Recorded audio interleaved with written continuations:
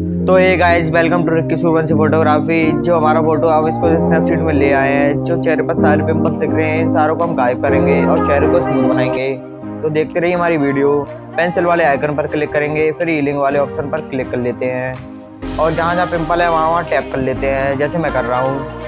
और देखिए, हमारे पिंपल्स गायब होते जा रहे हैं, ऐसे ही करते रहेंगे। हम सारे पिंपलों को ऐसे क्लिक कर लेते हैं जल्दी से।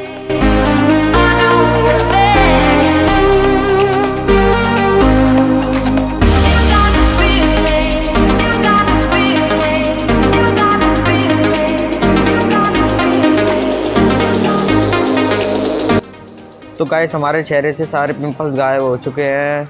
जो देखिए, जो हमारा फ़ोटो पहले ऐसा था, और अब देखिए हमारे चेहरे से सारे पिंपल्स गायब हो चुके हैं। देखिए जो आपको दिख रहा होगा। तो अब हम पेंसिल वाले आइकन पर जाकर लेंस ब्लर वाले ऑप्शन पर क्लिक करेंगे, और अपने साइज़ को छोटा कर कर साइड में रख देंगे, जैसे मैं रख रहा हूँ, देखिए।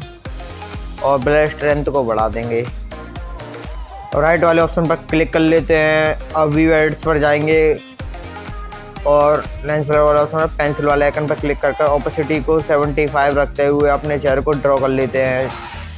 जहाँ जहाँ ड्रॉ कर लेंगे सारे, अपने सारे चेहरे को ड्रॉ कर लेंगे, अपने मुँह नोज़ एंड आइज़ को छोड़कर। सब जगह कर लेते हैं ड्रॉ जैसे मैं कर रहा हूँ देखिए, सारे को ड्रॉ कर लेते हैं ऐसे ही जल्दी से।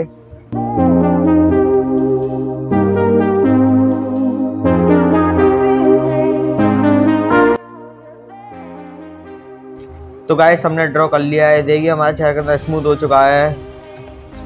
तो देखिए, हमारा चेहरा कुछ ऐसा था। अब हमारा चेहरा स्मूथ हो चुका है। तो पेंसिल वाले आइकन पर जाएँगे फिर से और सिलेक्ट वाले ऑप्शन पर क्लिक करेंगे और अपने माउथ पर ले जाएँगे।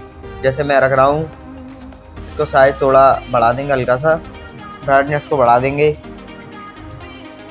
और स्टेचुएशन को हल्का सा कम और स्ट्रक्चर को भी हल्का सा कम रखेंगे।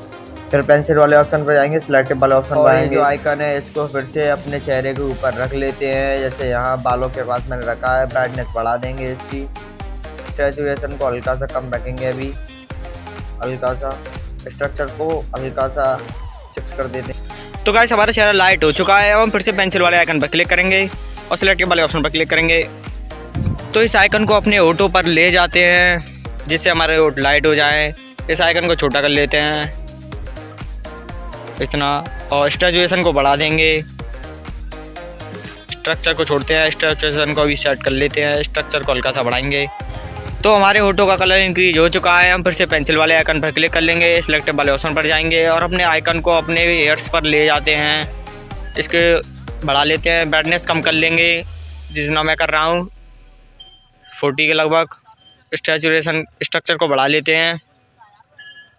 तो देखिए, हमारा फ़ोटो एडिट हो चुका है, देखना हमारा चेहरा कितना स्मूथ हो चुका है और जो है पिंपल्स भी सारे गायब हो चुके हैं।